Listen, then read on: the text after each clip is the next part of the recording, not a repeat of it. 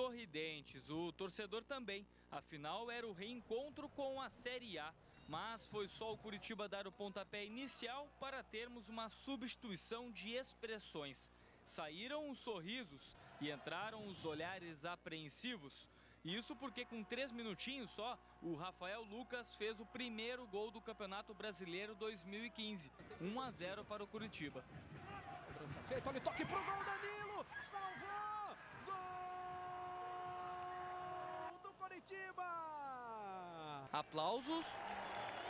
Só aos 10 minutos, quando Roger chutou e Bruno defendeu. O goleiro ficou bravo com a marcação. Em seguida, o Camilo chutou. Bruno defendeu e de novo ficou bravo. Até que aos 29 minutos, ele Carlos arriscou. A bola fez a curva e Bruno aceitou. Agora foi o treinador Marquinhos Santos que ficou bravo. No segundo tempo, Curitiba até veio para cima. Pedro quem chutou e levou perigo. Mas aí o torcedor teve fé. O Ananias rezou, o Danilo também e o Roger agradeceu. Não só o Papai do Céu, mas também o Negueba, que perdeu a bola no campo ofensivo e armou o contra-ataque. Ananias cruzou e Roger fez o gol da virada.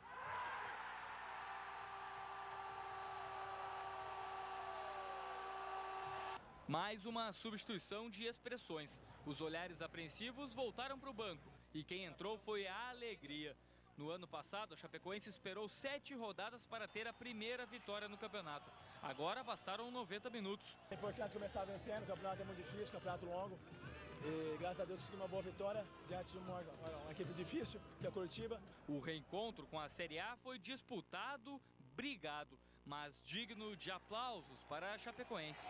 Tem muita alegria. Chapecoense saiu atrás, olha gente, olha aí, ó. Gol do time do Curitiba logo no comecinho da partida. Com um detalhe, muita gente ficou na dúvida de impedimento e tal, mas o Gil lá no outro lado dava condições para o atacante do Curitiba, então, neste lance aí. Duvidoso para muitos, mas a imagem acaba mostrando direitinho pra gente o que aconteceu na Chapecoense vacilou na marcação. Não pode deixar jogador ficar de frente com o goleiro livre de marcação de forma alguma. Então vacilou o sistema defensivo da Chapecoense. Depois do empate, Eli, o Eli Carlos de fora da área, contou com a ajudinha do Bruno, tudo bem, vale também. A bola quicou, enganou o goleirão e foi para o fundo da, da rede. Eli Carlos deixando tudo igual na Arena Condá, isso tudo ainda no primeiro tempo, tá?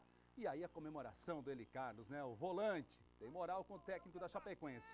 O time do Curitiba no segundo tempo mandou essa aí no travessão, ficou todo mundo arrepiado na Arena Condá, mas importante que não entrou, bateu no travessão e acabou saindo. Mas e agora presta atenção, roubada de bola de quem? Bruno Silva. Tinha acabado de entrar no jogo, fez o passe pro Gil. Esse rapaz corre muito, tá jogando um bolão, caiu direitinho no time da Chapecoense. Corta para dentro, passa para ele, Ananias, e aí serve para para ele, Roger. Roger, o atacante artilheiro da Chapecoense, artilheiro do Verdão no Campeonato Catarinense, já logo na primeira rodada do Campeonato Catarinense, em outros ângulos para você conferir com a gente o gol da Chapecoense, a virada 2 a 1 para cima do Coritiba. Que beleza, até São